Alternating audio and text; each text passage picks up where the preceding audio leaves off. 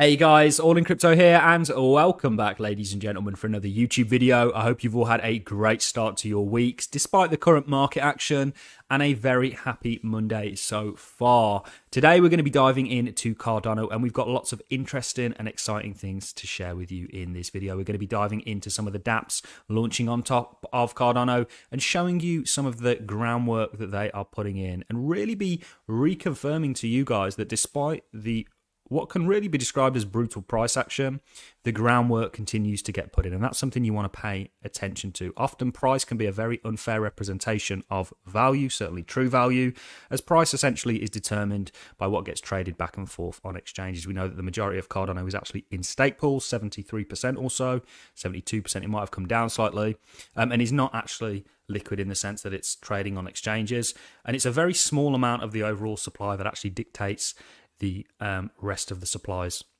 price. Uh, so we're going to be diving in to a number of things. I also want to be sharing with you this article from SundaeSwap. Now, I'm sure many of you have already uh, heard other people's takes on it and sort of certainly read the article yourself. And it's to do with expectations on the mainnet launch and how they're planning for congestion. They spoke, for example, of things like um, potentially orders taking a day to fill. And it's really to do with the fact that we're still very early as a project. Cardano is still very early as a project. And one thing that Cardano has really prioritized over everything is decentralization. Now, security, decentralization, and scalability are three things that really make up a blockchain. And Cardano have prioritized decentralization in a true Satoshi vision fashion um, over scalability. Scalability is the next issue that gets tackled on the Cardano roadmap. And there are, despite some of the concerns SundaeSwap may have in regards to congestion, there are there is, sorry, I should say, a clear roadmap of how we fix this problem. So we're going to get into that and certainly give my thoughts on this article. Uh, also talk about the thread that they released, uh, and we're going to dive into input outputs thread on some of the projects building on top of Cardano and some of the achievements that they've made. Um, one thing that I really want to just highlight that I'm very excited about is we've been pretty quiet with our heads down preparing for the mainnet launch. You can expect a very exciting announcement in the next few days. In the meantime, uh, there's something we wanted to discuss first. And this article, this article is a very short read, um, but they're really just kind of trying to uh, sort of squash any FUD before it arises um, and, and give you guys some sort of realistic expectations on the mainnet launch. Um, and this isn't anything I'm worried about. Certainly, I know what the, the, the clear roadmap out of some of these congestion issues are. And the congestion issues are really a worst case scenario if they see huge amounts of volume given the main net launch and given what the testnet sort of showed. Um, so we may not even have these huge congestion issues, but we will get into it. I just want to remind people that Cardano became the most developed crypto project on GitHub in 2021. So there's huge amounts of development taking place on ADA. This is a very bullish sign, and it really sort of ties in with what we're saying about the fact that price often doesn't represent uh, value very accurately. It's really what the markets decide. We know the entire market is tethered to Bitcoin. If Bitcoin has a bad day, it will unfairly take it out on the rest of the market. But that's just the space that we live in. I think as time goes on, and we see this with things like the Bitcoin dominance, um, we are starting to see um, some sort of a detethering. We're not detethered by any mean, shape, or form. We're still very tethered to Bitcoin, but it's becoming less and less so as we see Bitcoin dominance wane. And I think this is a trend that's going to continue. And I also want to talk about a trend that's going to continue in regards to Bitcoin's price and how typically we've been following a Bitcoin four year cycle theory. But now I think we're going to start to see something like this, which of course is Amazon. They had their boom and bust. And after that came really what is only described as adoption with hype uh, cycles involved. And I think that's what the crypto space is kind of going to take on um, in regards to the charts and how they're going to look into the future. So, Cardano, where shall we start? Well, let's start very, very quickly um, by talking about some of what's been going on with the projects building on top of Cardano. This is a great thread. I've retweeted this, um, and I'll actually retweet it again and quote it for anybody looking to actually find the tweet on my Twitter. You can go ahead and follow me uh, on Twitter at Real All in Crypto. Well, you might have been taking it slow over the past few weeks. Projects building on Cardano have been working restlessly on everything from DeFi, marketplaces, and DEX projects to solutions for identity, gaming, oracles, wallets, and more. And it goes into some of the great achievements uh, and partnerships that have been made. It talks about ADAX. ADAX are set to launch at the end of this month, um, which is another DEX.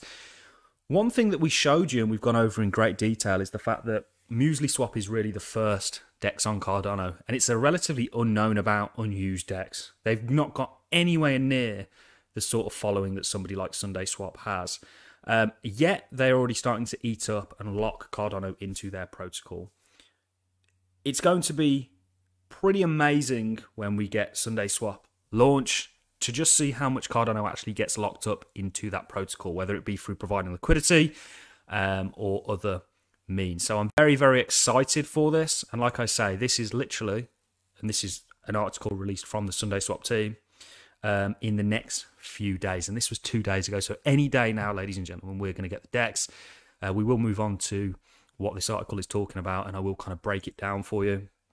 Talk about things like drip drops. Uh, drip drops essentially is just a it's a way for people that create a token to look to distribute it to Cardano members, people that are a part of the Cardano ecosystem uh, or part of Cardano holders essentially. Um, so it's pretty cool. I've actually used it. Talks about a number of other things like some of the CNFT marketplaces. We have been doing a CNFT series where we've called out a number of CNFT projects that we're very interested in, and a lot of them have done very well because that side of things is really starting to wake up, and that actually causes quite a big buy pressure for ADA in the sense that people actually have to buy Cardano to buy these CNFTs on things like JPG, uh, dot store and so on and so forth. Partnerships with MinSwap, of course, Muesli Swap. Um, more SundaeSwap news. Of course, we know we have the testnet. Um, you've got ADA handle, which is really interesting. We've got some news from COTI, who of course are working on DJED, which is the algorithmic stablecoin. Stablecoins play a, a huge role in um, any DeFi ecosystem on any chain, um, and so on and so forth. ADA Finance, which we've covered, they partnered with Nami Wallet, which is great. Um, so there's been lots going on. The reason I'm just sort of skimming through this is because I really want to get on to the next bit of news that we have, or not news, the next kind of topic that we have to discuss. Um, the, the, the reason that I'm bringing this up is to just really highlight the fact that there's been a lot of building going on on the base layer of Cardano. So the next thing that I want to dive into is SundaeSwap, which is looking likely to be the sort of most well-known uh, DEX to launch on Cardano. The first expected DEX, if you will. We know we've got Muesli Swap, and of course they are a, functional DEX. I've used Muesli Swap to pick up a number of small tokens, um, and it does work. But this is the first DEX with huge uh, sort of mainstream Cardano attention. Uh, and they released this article talking about expectations, congestion, and mainnet launch. Now, it talks about the fact that on the launch of the mainnet, there's likely to be quite a bit of congestion due to the volume that's going to be going through. Now, this really comes down to how Cardano operates as a blockchain.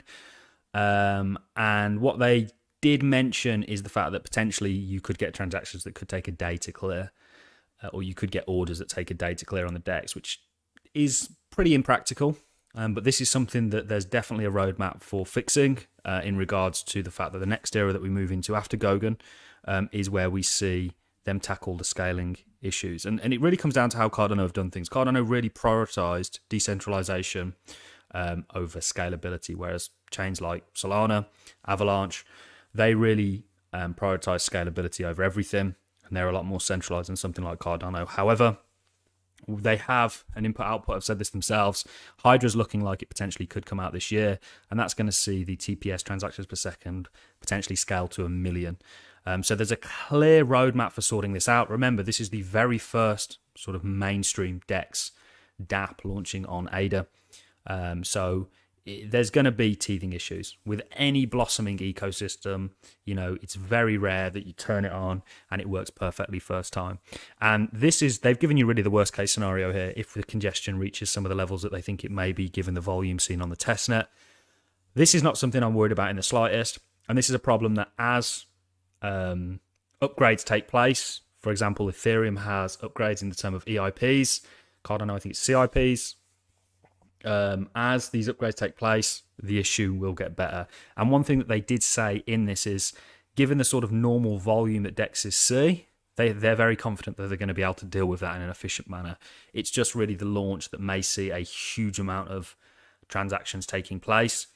Um, that they think they may have a bit of congestion with. So this is something I'm certainly not worried about. Very excited for it, and I want to remind people that this is coming in the next few days. And this article was two days ago.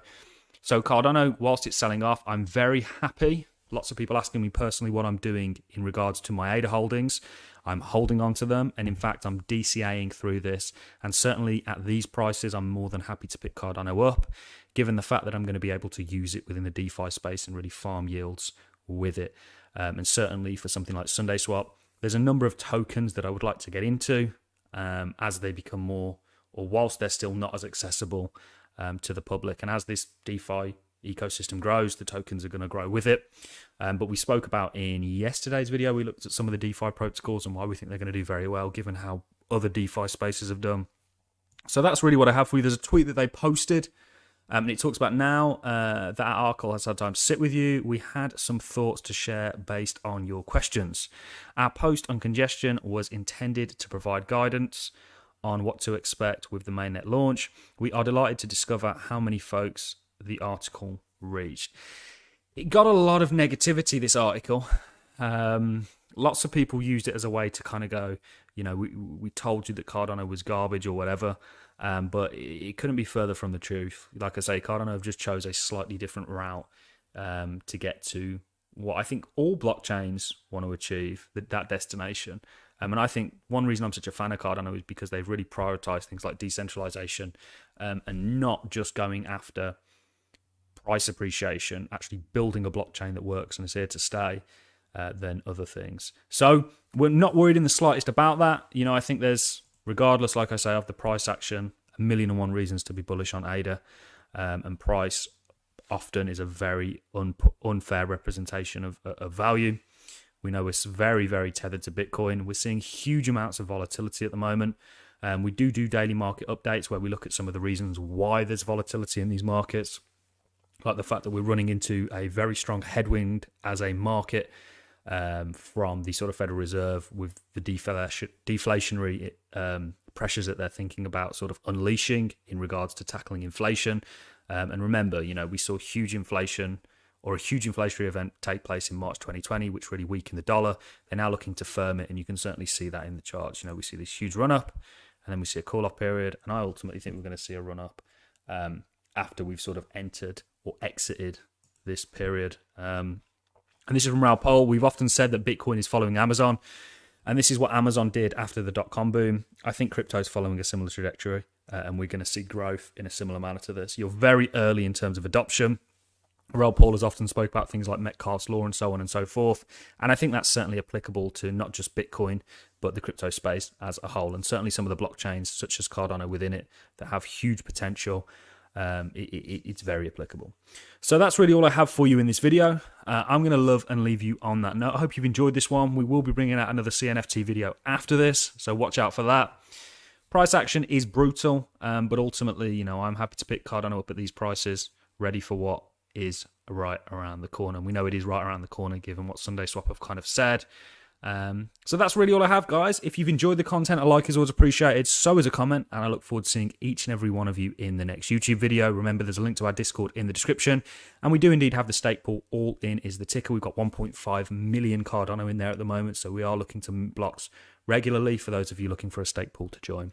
Thank you very much for watching, guys. I'll catch you all in the next YouTube video.